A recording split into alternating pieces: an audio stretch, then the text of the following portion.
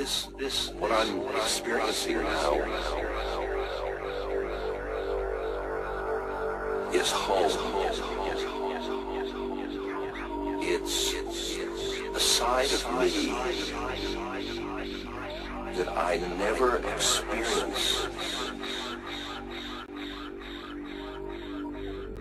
It's like a new level of my, my being.